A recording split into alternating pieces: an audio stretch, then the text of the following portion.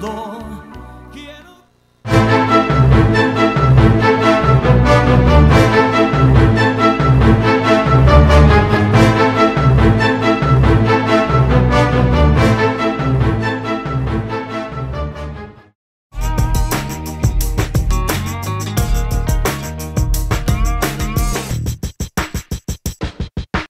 Buenas noches, buenas noches, está en el aire su informativo País de la Monarca, los saluda su amigo Medardo González Arismendi desde el oriente del estado de Michoacán. El día de hoy, lunes, inicio de semana, tenemos mucha información. Como siempre, iniciamos con la primera plana de la página web de La Voz de Michoacán, que tiene su edición impresa todos los días muy temprano, circulando por todo el estado de Michoacán, Jalisco, Guanajuato y parte de Guerrero. Bueno, pues vamos a la primera plana de La Voz de Michoacán. Este día asesinan a balazos a dos empleados de una empresa aguacatera. Anaya no buscará regresar a la dirigencia del PAN, dice Santiago Krill. Guapas promoverá amparo contra huelga ante juzgados federales. Llegan las primeras impugnaciones al Tribunal Electoral Van cuatro ya en el tribunal. Vamos a ver si podemos ver más sobre esto, que va a estar cargadito, ¿eh?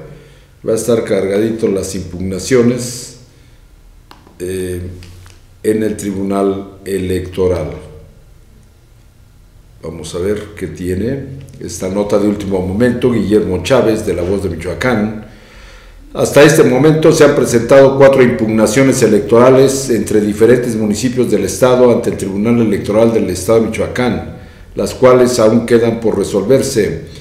De acuerdo con magistrados del Tribunal Electoral del Estado de Michoacán, las impugnaciones presentadas se dividen en uno por Tuxpan, dos por Erongarícuaro y dos por Tangamandapio. Dos de estas impugnaciones fueron presentadas por el Partido Revolucionario Institucional, en contra del Partido de la Revolución Democrática, mientras que Morena impugnó en contra del alcalde reelecto en Tuxpan, además de la presentada en Erongarícuaro por el mismo partido. Dichas impugnaciones son todas las que existen en tribunal hasta ahora y las, las mismas aún están por resolverse. En otra información también de la voz de Michoacán, tenemos eh, que Hailey Baldwin ya luce tremenda roca de compromiso. El trato de Estados Unidos a México ha sido terrible, dice Marcelo Ebrán. La contaminación del aire, una causante de infertilidad y muchas otras cosas más. Revelan proyecto de estadio de Beckham en Miami. No, pues con la lana que tiene. Carolina Pliskova queda fuera del Wimbledon.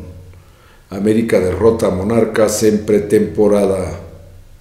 Toda esta información la ve usted en la página web de TV eh, www.tv La Voz de, eh, no es Cibra, TV La Voz de Michoacán.com.mx.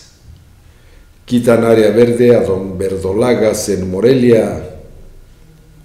Así quedó el pie de Kutepova después del partido frente a Croacia. Qué bárbaro. Por poco se lo deshacen. Viralizan despedida que dieron mexicanos a Neymar en Rusia. Otro fallecido por un rayo, esto ya lo habíamos comentado, fue tanto en Zitácuaro como una familia completa esto allá en la región de eh, Paracho. Lo dijimos hoy en la mañana, lamentablemente, así es que la recomendación es no resguardarse bajo los árboles cuando está lloviendo. Y sobre todo pues la gente del campo que anda pastoreando sobre todo borregas que son las que más llaman por la electricidad a los rayos San Pauli, última oportunidad en el albiceleste. Rusia sacó ventaja ante España por uso de amoníaco. Dicen que. Vamos a ver en qué sentido les beneficia el amoníaco. A ver. Eh, los jugadores de la selección de Rusia fueron acusados de aspirar amoníacos y sacar ventaja ante su rival en la Copa del Mundo. El periódico Sundewsch Zeitung informó que varios elementos del cuadro anfitrión usaron dicha sustancia en diversos duelos, lo cual confirmó un federativo ruso. La Federación Internacional de Fútbol Asociado no considera al amoníaco como una sustancia prohibida, por lo que no habrá ningún tipo de castigo. Contra muchos pronósticos, Rusia llegó hasta los cuartos de final de la Copa del Mundo 2018, en el que fue eliminado por Croacia pero en serie de penales por poco y pasa a semifinales. Bueno, todo esto en la voz de Michoacán. Eh, nos vamos ahora con la página web de TV Monarca, www.tvmonarca.com. Ahí tenemos nuestra primera plana. Ahí está un recuadro donde usted puede ingresar a este recuadro, hacer clic y tener toda la información en vivo en nuestro canal de televisión TV Monarca. De igual manera, en la parte inferior tenemos eh, información del estado de Michoacán y del oriente. Recuerde www.tvmonarca.com. Vamos a un corte y regresamos con toda la información.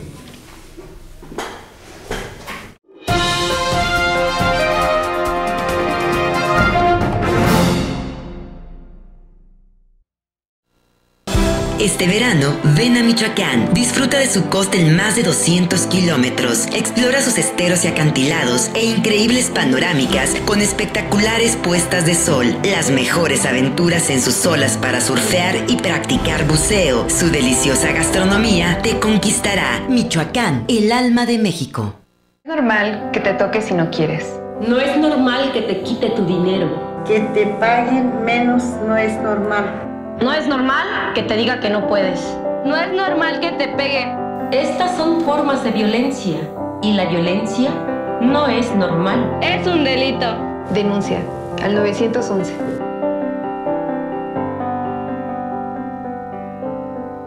Campaña para la erradicación de la violencia contra las mujeres.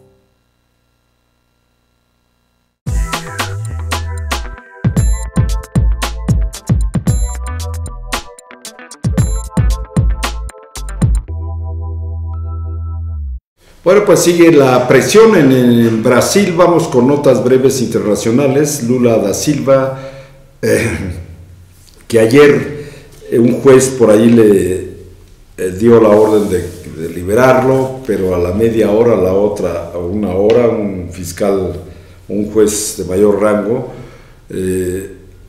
revirtió esta liberación y deberá de permanecer allí en la cárcel Lula de da Silva, que pues quiere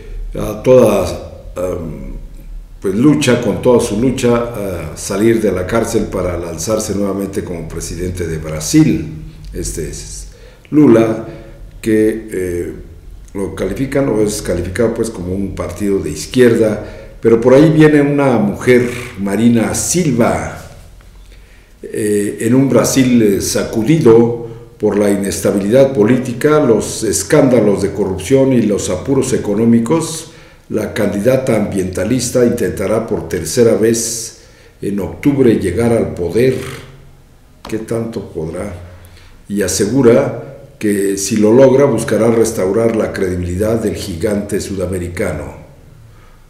Eh, hoy dice Marina Silva, no hay inversión en Brasil porque todo el mundo está esperando que tenga credibilidad, legitimidad, para saber qué va a pasar, para tener alguna seguridad.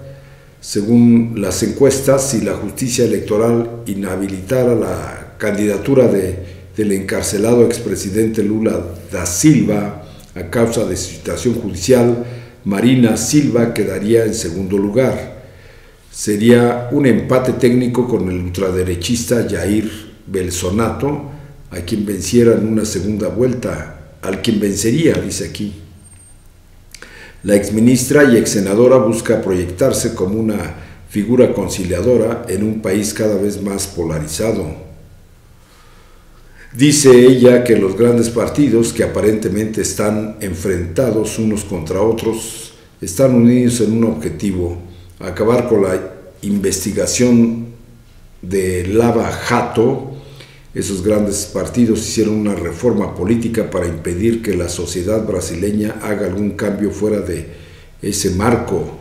Nacida en una familia pobre en el estado amazónico de Acre, Silva, fue ministra de Medio Ambiente del gobierno de Lula, aliado del entonces líder venezolano Hugo Chávez, pero desde su ruptura con Lula y el Partido de los Trabajadores ha marcado distancia.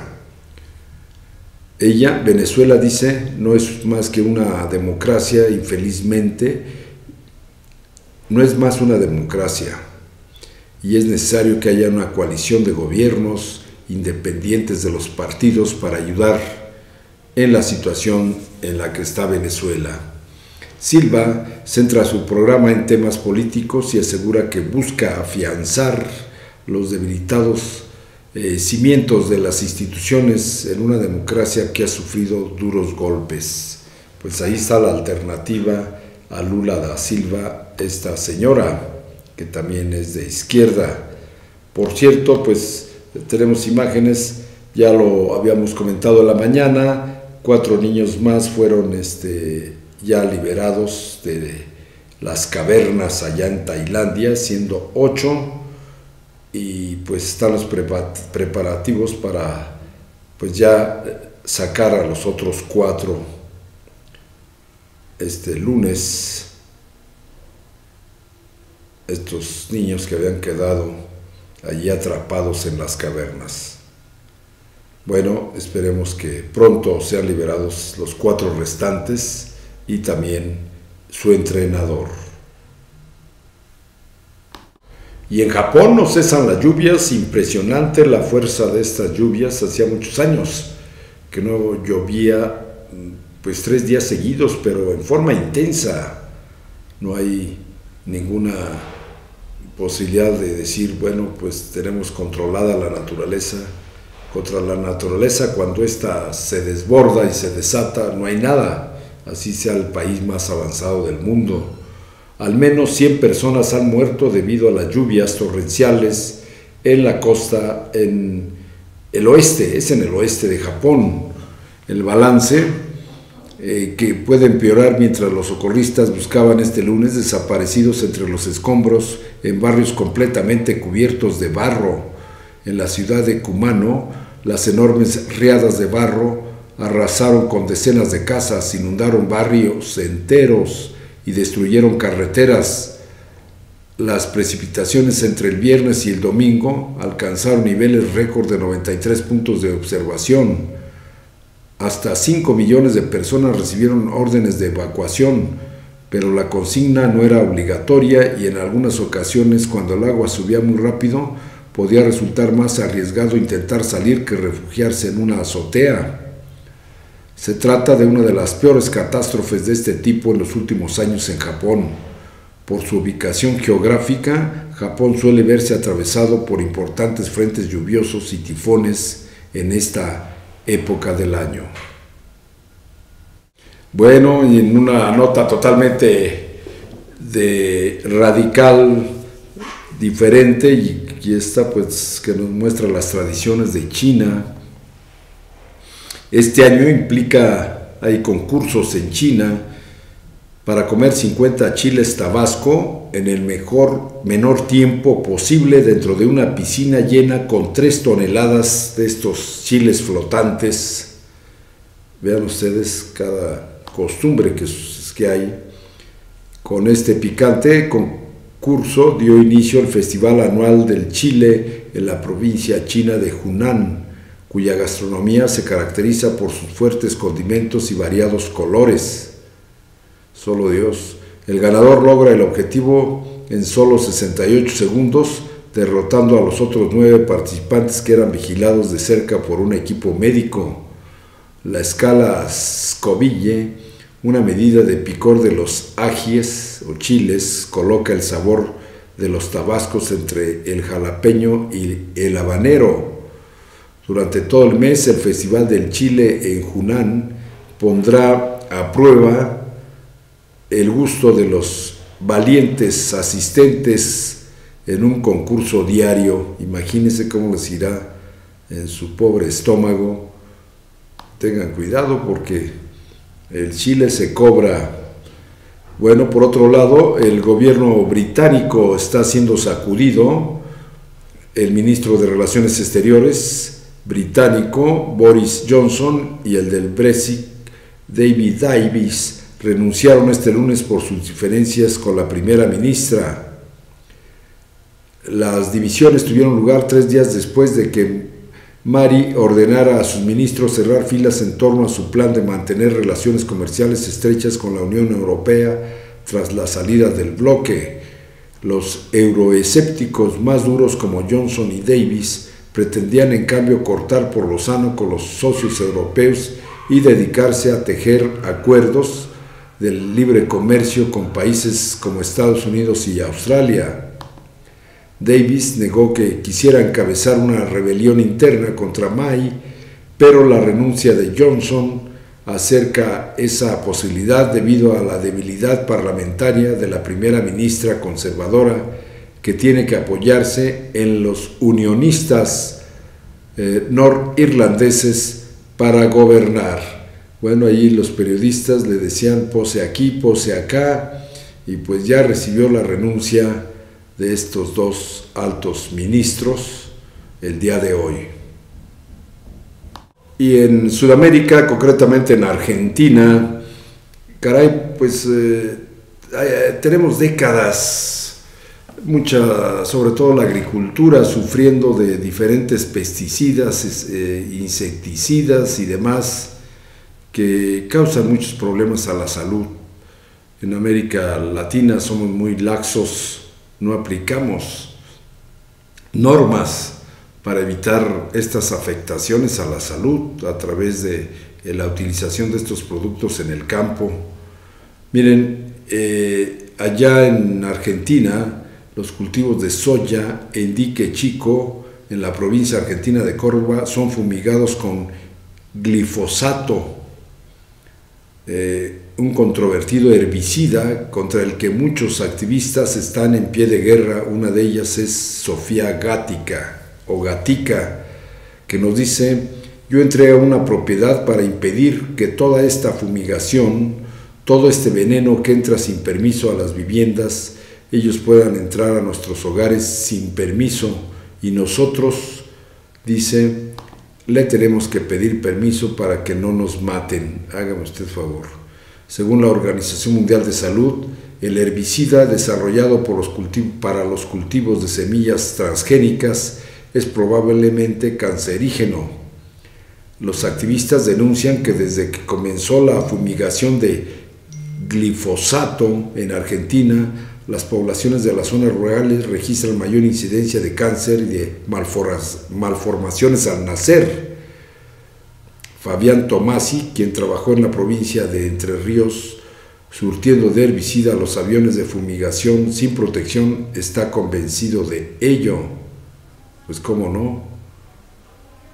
Fabián Tomasi padece polineuropatía. Esto es tremendamente engañoso, es una trampa que nos han plantado gente muy poderosa que va a hacer que no quede nadie. Eh, presionado por los pobladores, los alcaldes de los pueblos argentinos han emitido ordenanzas que regulan las fumigaciones. Pero cuando hay corrupción puede más el señor Don Dinero y todos estos productos que son de verdad un verdadero veneno. Son, decíamos, son impugnadas por los productores que defienden sus prácticas agrícolas y argumentan que no hay soporte científico contra el herbicida, que no habrá alguna investigación que se pueda hacer al respecto, independiente. Las legislaciones van avanzando y van poniendo penas y multas a quien hace mal las cosas, pero lo que sí necesitamos, además de eso urgente, es el control porque si por parte del Estado no hay un control, no va al lugar, no verifica los daños, no estamos avanzando. Eso se llama corrupción, aquí y en China. En Argentina las siembras con semillas transgénicas comenzaron a fines del año 1990 y desplazaron paulatinamente a la cría de ganado. Al cierre de junio del 2018, el país se había convertido en el tercer mayor productor mundial detrás de Estados Unidos y Brasil, una cosecha que implica millones de litros de glifosato vertido en estas tierras y que después, pues quién sabe qué vaya a pasar y cuántos años podrán tener que pasar para superar y limpiar estas tierras. Bueno, este es un buen pretexto para que usted se desnude sin inhibiciones. Más de 200 personas semidesnudas y telas rojas, translúcidas, eh, con estos elementos. El fotógrafo Spencer Tunick realizó otro de sus convertidos proyectos el lunes en el estacionamiento de un centro comercial en Australia. El objetivo fue crear un ambiente apocalíptico, pues sí, con esas este, ¿cómo se llaman? Miserias, pues sí, no puede ser menos que apocalíptico. Creo que una vez que estás allí, una vez que es hora de quitarte la ropa, dejas tus cosas y todos están en el mismo nivel, solo te enfocas y te enfocas en que Spencer le está dirigiendo y a dónde necesitas ir y cómo necesitas usar tus telas. Dice allí una de las fotografiadas. Querían hacer algo como eso desde hace mucho tiempo, y tan pronto como escuché esto, estaba muy emocionada y fue una experiencia increíble. Me siento muy afortunada de ser parte de esto. El artista estadounidense, nacido en 1967, es famoso por sus fotografías a multitudes desnudas. Pues ya se había calmado tú y otra vez está ahí. Además de hacerlo en varias ciudades de su país, en los últimos años ha elegido locaciones como Buenos Aires, Londres, Montreal, Roma, Nueva York, Barcelona, misma Ciudad de México, entre otras. Bueno, pues ahí tienen estas cosas que hoy, cada día la sociedad eh, increíblemente, pues hace esto para, no sé, todos cada día estamos buscando algo nuevo, ¿no? Así, así es esto. ¿Qué otra nota tenemos? El presidente electo de México, que es una nota internacional, promete no aumentar el combustible. Costa Rica recolecta 25 toneladas de plástico. esas yo creo que solo aquí en Ciudad algo fácil las tenemos en dos, tres días. Vamos a un corte y regresamos con más información.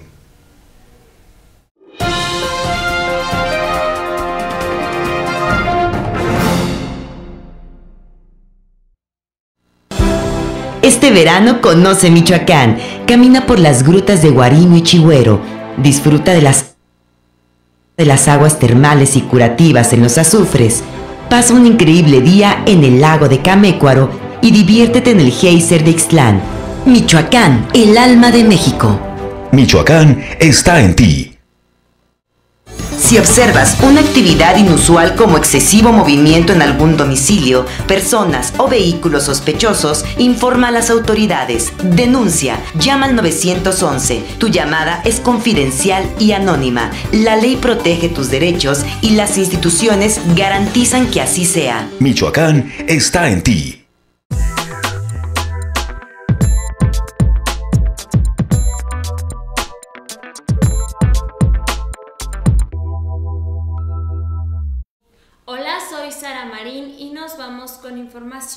Lo mejor del campo michoacano a Expo Alimentaria.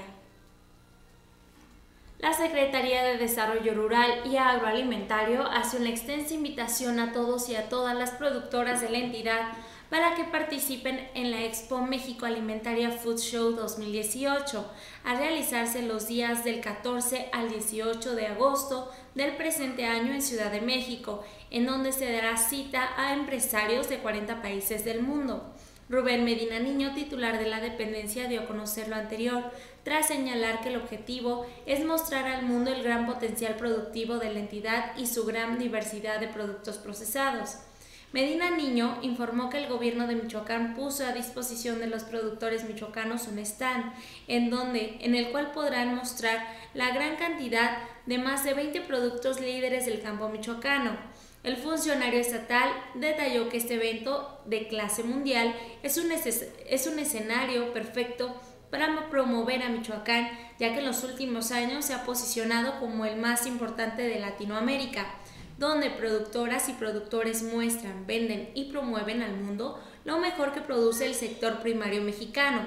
El funcionario resaltó que el campo michoacano ha sido factor fundamental para el posicionamiento del mercado mexicano hacia el mundo, gracias al liderazgo de la entidad en el valor de la producción, lo que amplía las posibilidades de establecer nuevas ventanas de negocio en este encuentro.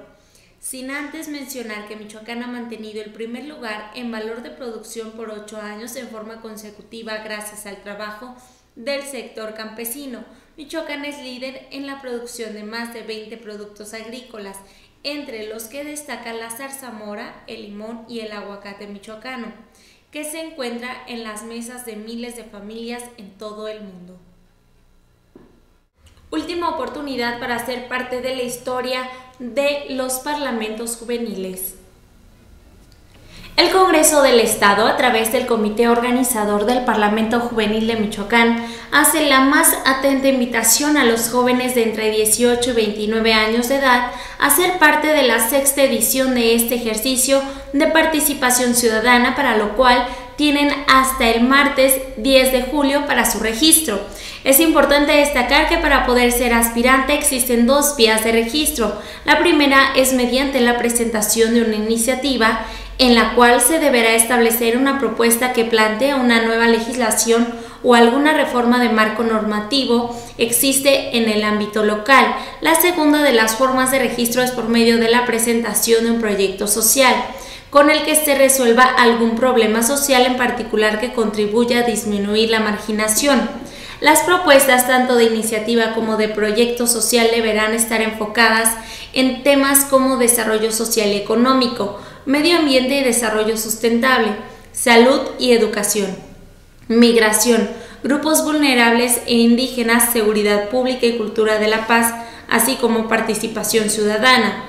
Todas las propuestas serán puestas a consideración del jurado calificador, quien será el encargado de seleccionar a 24 jóvenes por la vía de iniciativa y 16 por proyecto social, para que los 40 sean los que integren el Parlamento Juvenil 2018, que se llevará a cabo los días 30 y 31 de agosto. Los interesados en participar, esta es la última oportunidad de inscribirse y deberán presentar la documentación requerida previa convocatoria en el Instituto de Investigaciones y Estudios Legislativos del Congreso del Estado, ubicada en Avenida Morelos Norte, número 82, esquina con Aquiles Cerdán en el Centro Histórico de Morelia, este lunes o martes de 9 a 15 horas o a través del correo electrónico parlamentojuvenil 6 gmail.com. La empresa ciudad hidalguense, LETCO, participará en la Semana Nacional del Emprendedor. Luego de participar en la convocatoria que emitió el Instituto Nacional del Emprendedor y la Secretaría de Economía a nivel nacional, la empresa ciudad hidalguense LETCO, Laboratorio de Robótica, participará en la Semana Nacional del Emprendedor a realizarse en el Centro de Convenciones Banamex de Ciudad de México del 10 al 14 de septiembre. Lo anterior lo dio a conocer el ingeniero Jesús Ledesma Correa, director general del ETCO, Laboratorios de Robótica. Manifestó que esta convocatoria se lanzó a nivel federal, donde recibieron más de 10.000 solicitudes aceptando solo 10 empresas, de las cuales una de ellas es precisamente el ETCO, Laboratorio de Robótica, empresa ciudad hidalguense y la única representará al estado de Michoacán debido a la innovación y tecnología que presentan sus productos y servicios. Informó que se espera la asistencia del presidente Enrique Peña Nieto en este evento, donde se pronostica 14 mil visitantes por día. Esto les abre muchas puertas como empresa para conseguir clientes, líneas de distribución, inversionistas que por lógica tendrán que producir más. Manifestó que en este escaparate estarán presentando los kits de robótica, manufactura de tarjetas electrónicas o PCB, productos y servicios, así como cursos de robótica tanto para docentes y alumnos, también lo que viene siendo la realidad aumentada con inteligencia artificial. Dijo que anteriormente habían participado en la Semana del Emprendedor como visitantes. Ahora por primera vez en la historia, una empresa de Ciudad Hidalgo, Michoacán, participa como expositor, colocándose como empresas reconocidas a nivel nacional, por lo cual se están preparando para presentar nuevos kits, nuevos materiales para que sea la fecha de lanzamiento en Semana Nacional del Emprendedor, buscando así inversionistas, líneas de venta, compradores, dando a conocer la empresa para así tener más ingresos y consecuencia generar más empleos para la región de Ciudad Hidalgo. Ledesma Correa manifestó sentirse muy orgulloso de su empresa, con ello demuestra que sí se está trabajando haciendo las cosas bien en conjunto con el gobierno municipal que encabeza Rubén Padilla Soto a través de la Dirección de Desarrollo Económico que han trabajado de manera coordinada desde el lanzamiento de la convocatoria. Rubén Padilla Soto presenció la clausura de la generación 2015-2018 del CEMSAT 4. La educación es fundamental para desarrollar mentes que buscan el éxito y coadyuvar en el desarrollo del país. Lo anterior lo expresó el presidente municipal Hidalgo, Rubén Padilla Soto, en la clausura de fin de cursos de los alumnos que concluyeron su instrucción medio superior generación 2015-2018 de CEMSAT 4 de la tenencia de Agostitlán indicó sentirse contento de poder estar en la tenencia de Agostitlán, particularmente en el CEMSAT 4, en donde con trabajo y dedicación los maestros han puesto de su parte para poder dotar a los alumnos de conocimiento, pero también de los alumnos que han tenido a bien obtener ese conocimiento para poder salir adelante en el aspecto personal, cumpliéndole a los padres de familia que hacen un gran esfuerzo para que sus hijos se preparen y sigan adelante. Comentó que en el CEMSAT se ha trabajado conjuntamente con la jefa de tenencia para poder llevar obras a esta institución, así como el CEMSAT de Chaparro, CECITEM de San Pedro Jacuaro y CECITEM de Ciudad Hidalgo agregó que en esta administración se vieron volcados en el poder hacer una aportación importante de recursos para el rubro de la educación, porque está convencido que la educación es muy importante para salir adelante.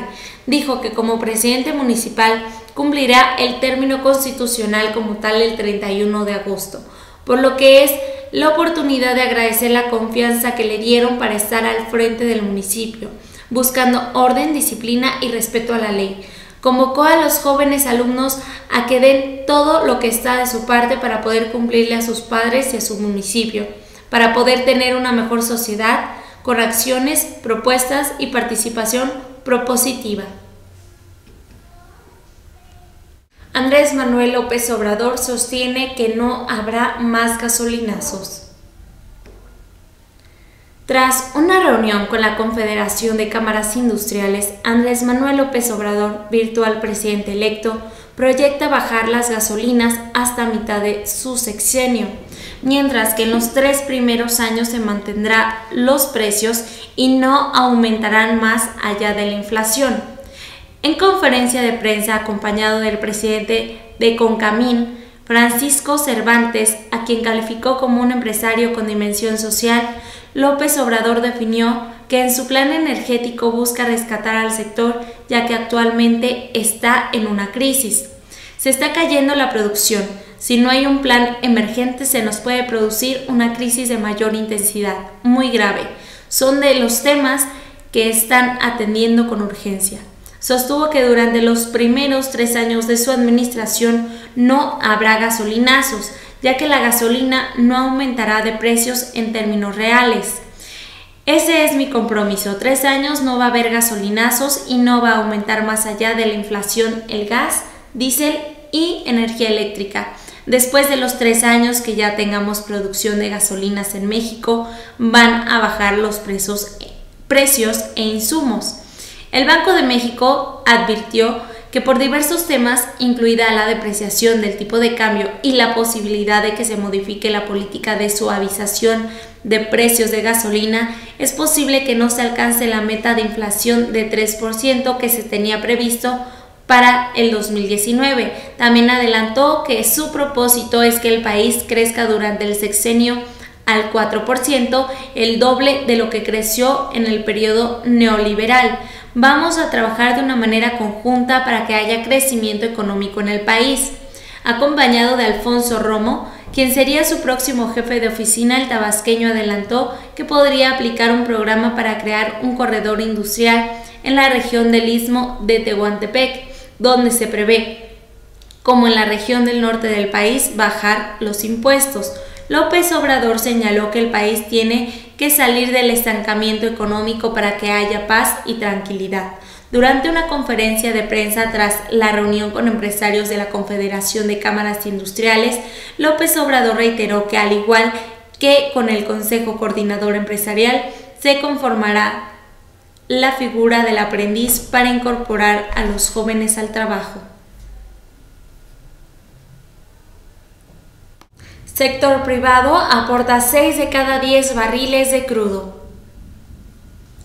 La Comisión Nacional de Hidrocarburos aseguró que el sector privado, que ha ganado bloques petroleros en las pasadas rondas de licitación, se ha convertido en el principal generador de reservas petroleras del país.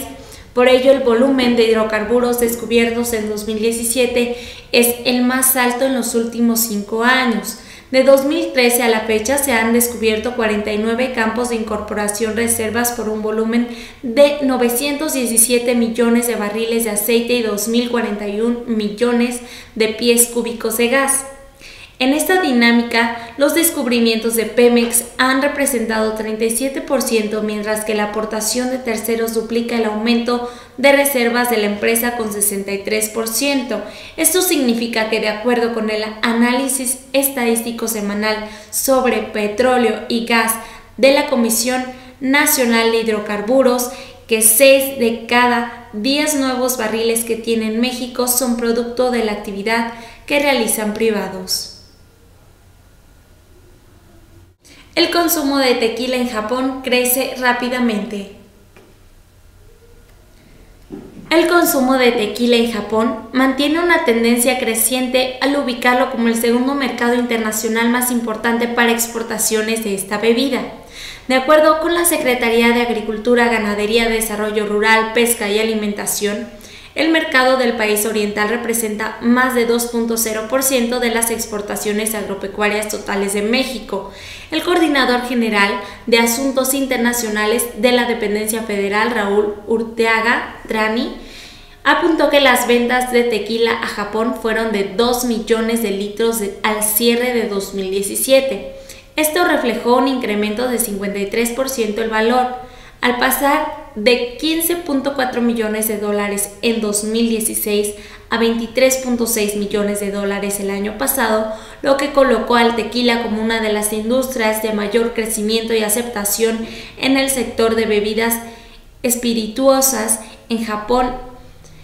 Es por ello que la agenda de servicios a la comercialización y desarrollo de mercados agropecuarios y la Coordinación General de Asuntos Internacionales sumaron esfuerzos para recibir una misión comercial procedente de Japón a fin de promover y difundir la oferta exportable de tequila y mezcal.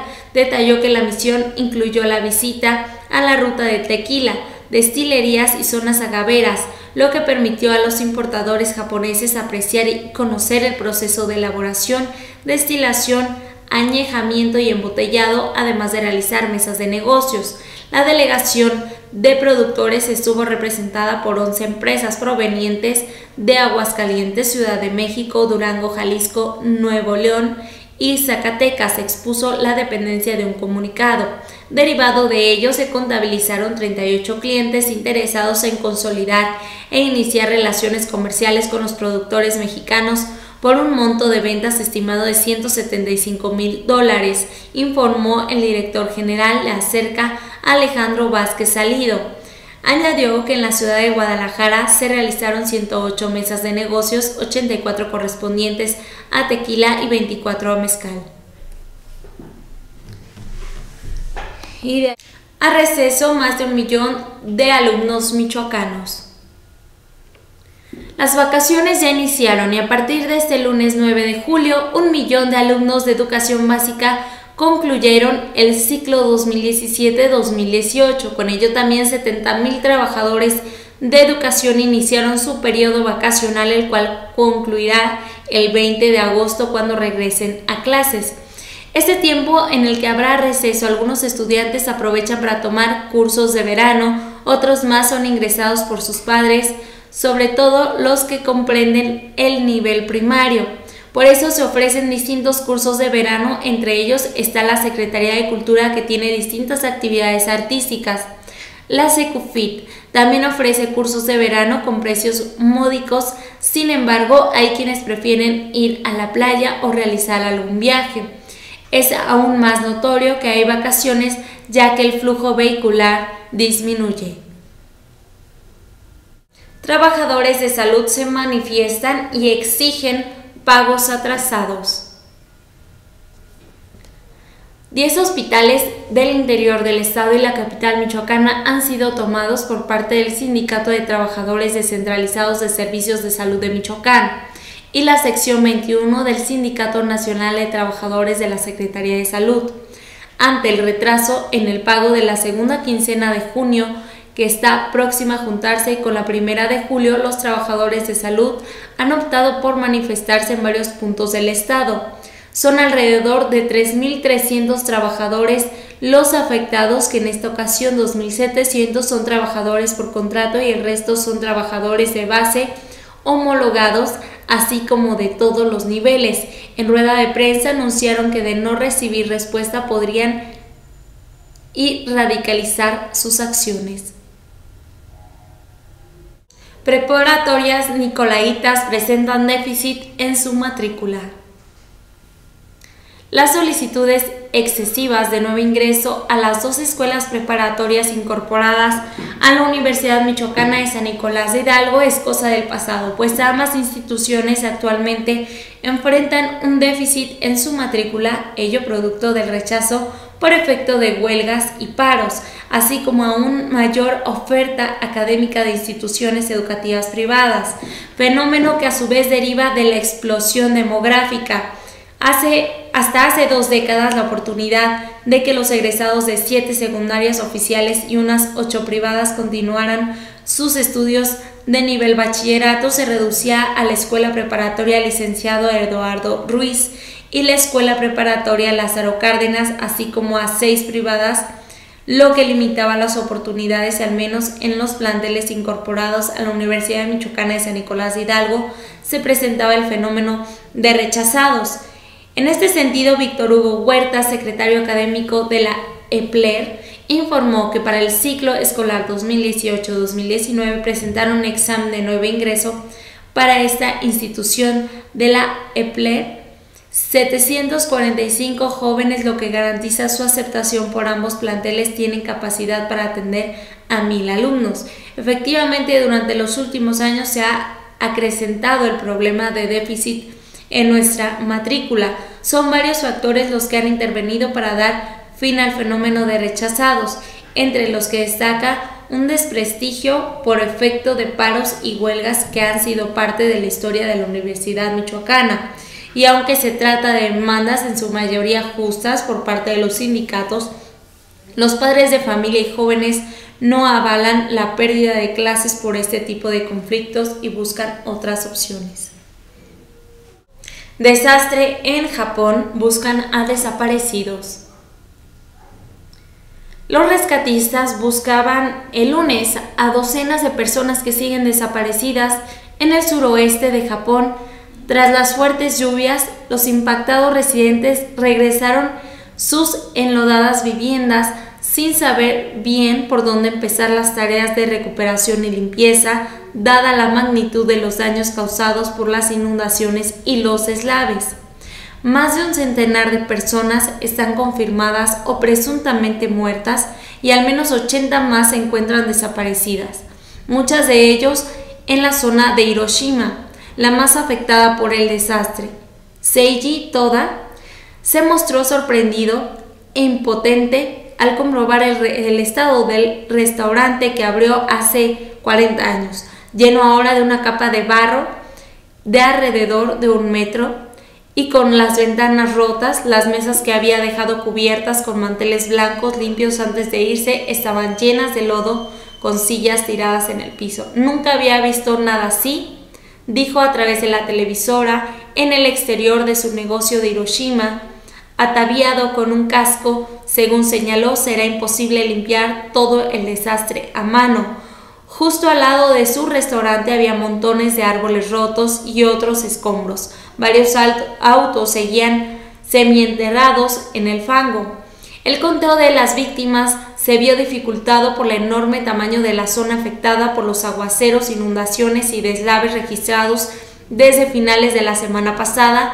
Las autoridades advirtieron que los deslaves podrían seguir incluso después de que amenen las precipitaciones en una tragedia que podría ser la peor en décadas. Por mi parte es todo, regresamos con más información.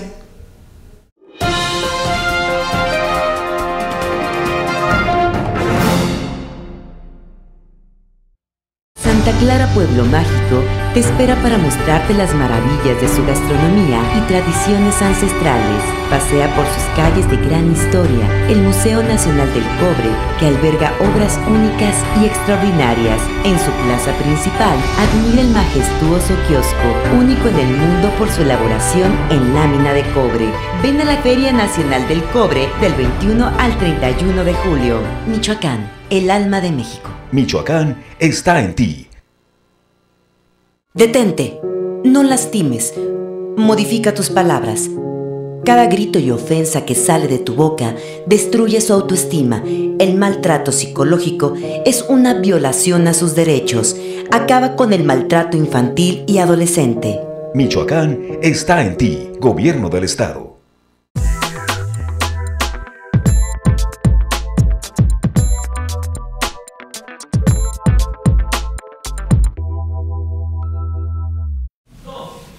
Bueno, tenemos una nota del diario grande El Universal de Misael Zavala y Alberto Morales. Hoy eh, mucha actividad. el presidente electo de México, eh, López Obrador, virtual, aunque todavía oficialmente no se determina.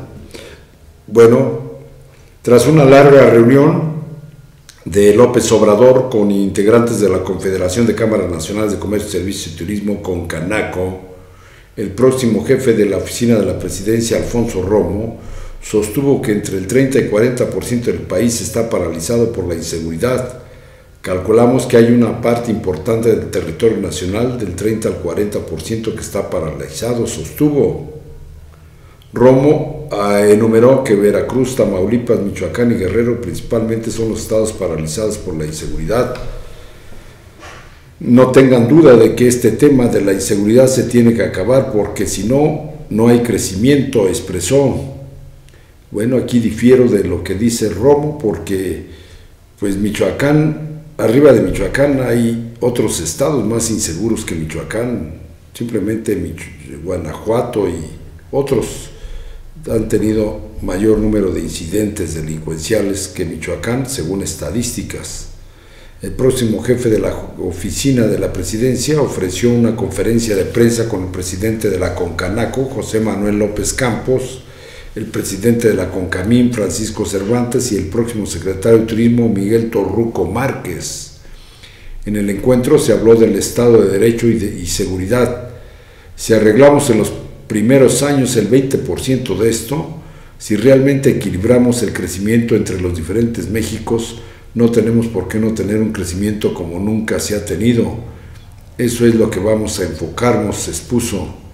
Romo indicó que buscan que México sea el paraíso de la inversión y del turismo.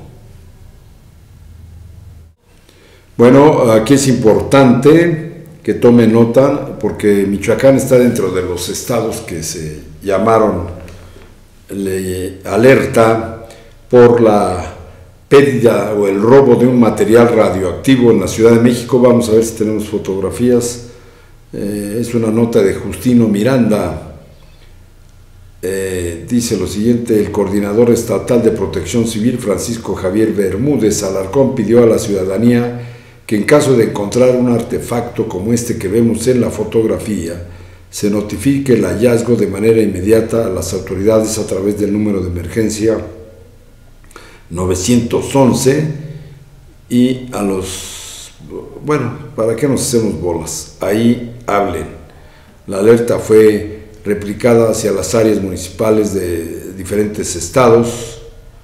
Detallaron que es una fuente radioactiva, es un isótopo radioactivo llamado iridio 192, el cual se encuentra dentro de un contenedor marca industrial nuclear modelo IP100 con número de serie 7348. Asimismo indicó que la fuente es de bajo riesgo, sin embargo, puede ser peligrosa para la salud humana si se extrae de su contenedor y si no se maneja en condiciones de seguridad apropiadas. La inadecuada manipulación de este artefacto podría ocasionar lesiones permanentes en las personas que lo manipulen o estén en contacto con ella durante un lapso de tiempo determinado. Así es que si usted puede eh, dar más información, ve este artefacto por ahí, alguien que lo haya robado y que no sepa ni lo que es, repórtelo al 911. Tiene productos radioactivos que pueden afectar su salud. En una nota de lo que son ya los rescoldos de la elección 2018, entre las tareas importantes que tiene el Partido de la Revolución Democrática en el porvenir está el revisar varios aspectos como el disolver la coalición que durante las pasadas elecciones se dio con el Partido Acción Nacional, Así lo consideró en el marco de una conferencia de prensa el exdirigente estatal y hoy diputado federal plurinominal del PRD, Carlos Torres Piña, quien también apuntó algunos aspectos que desde su punto de vista habían llevado al instituto político al que pertenece a convertirse en minoría. Entre algunos de los más destacados, según sus palabras, está la firma del llamado Pacto por México a principios del sexenio, que está por concluir, además del fenómeno que se dio con el hoy virtual presidente de México, Andrés Manuel López Obrador, también la alianza con el PAN tuvo destacado papel en el descenso del perredismo, apuntó. Al inicio del encuentro con los medios de comunicación, Piña Torres dio lectura a un posicionamiento del pasado reciente y el futuro inmediato del partido al que pertenece.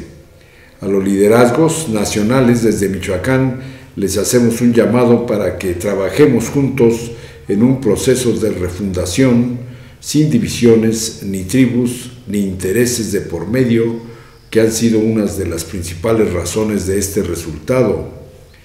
De la misma forma, solicitó que los militantes del PRD elijan un nuevo dirigente congruente, que sin mofas inicie la etapa de recuperación partidista luego de lo ocurrido este primero de julio. Aunque también recordó que en la elección de hace siete años y aún siendo gobierno, el perredismo también quedó en tercer lugar en cuanto a preferencias electorales y cuatro años después se dio el triunfo del actual mandatario Silvano Aureoles Conejo. Así entonces, nada está perdido, asentó el líder de la Alianza Democrática Nacional, quien estuvo acompañado del alcalde electo de Tuspan, Jesús Mora González, y por la diputada local Miriam Tinoco. Finalmente, parte de lo que hay que hacer, detalló Torres Piña, es evaluar lo que hicimos mal, desde la firma del Pacto por México hasta la alianza antinatural que se decidió en las cúpulas sin escuchar a las bases.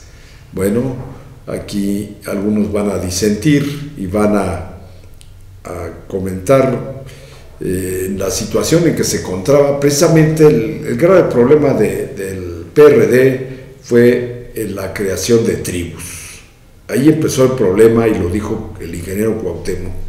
Yo me voy de aquí, palabras menos, palabras más, porque las tribus le han hecho un gran daño al partido. Todos querían formar sus propios grupos y tribus para pedir prebendas, posiciones políticas, y cuando no las tenían, pues empezaban ahí a irse de los del partido concretamente. Y la alianza con el PAN, pues yo creo que les sirvió para sobrevivir. Si no, me perdona Torres Piña, si no, hubieran perdido el registro.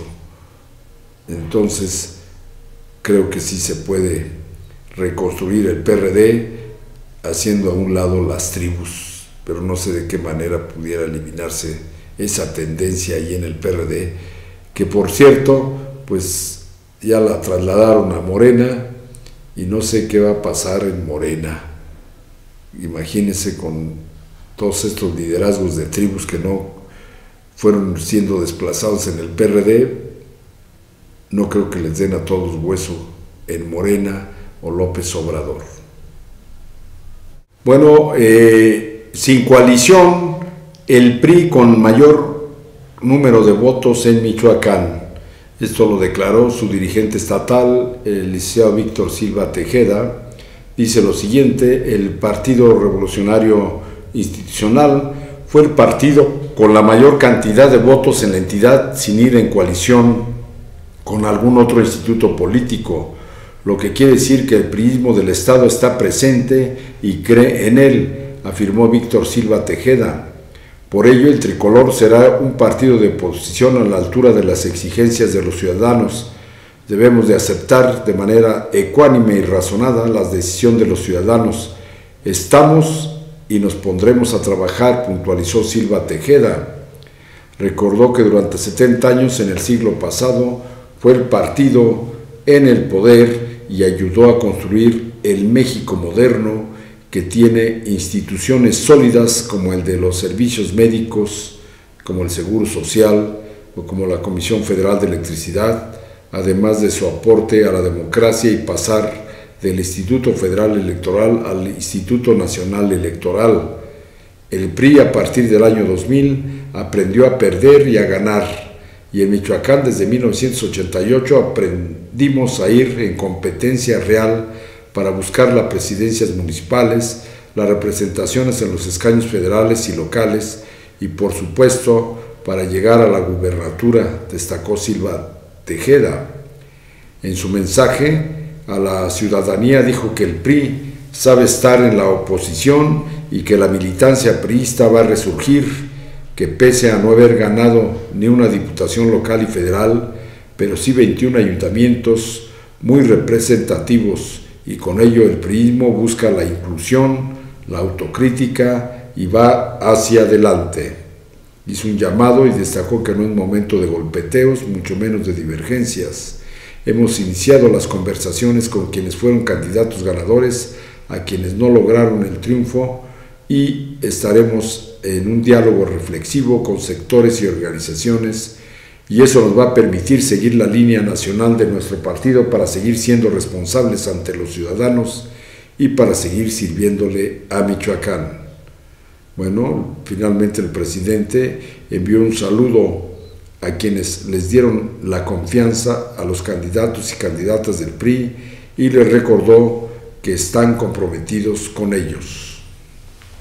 Bueno, y la noticia de acá en el Oriente del Estado fue ya la entrega de la constancia de mayoría al arquitecto Carlos Herrera como presidente con mayoría de votos por el YEM, eh, con 177 votos, 180 más menos, eh, fue ya eh, entregada esta constancia de mayoría por el YEM el día de ayer o el sábado por la noche a eh, Carlos Herrera, quien es presidente con licencia y que estará por tres años más en, el ayuntamiento como presidente de Zitácuaro, Michoacán.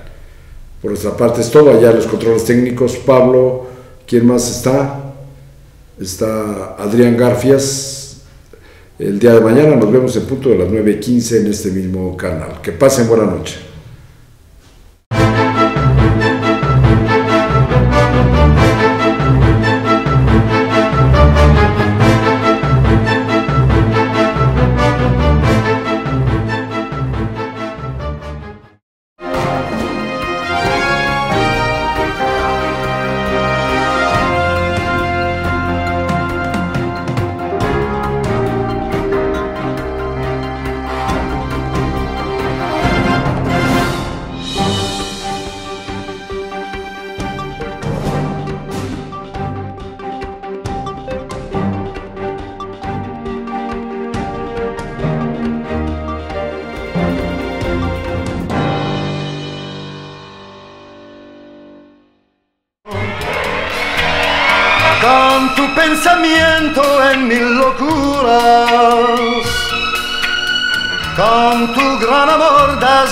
La vida. Yo encontré en ti toda una armonía y te amaré siempre a ti, mi amor. Con ese pudor que es casi inocencia, con ese candor de tu inconsciencia.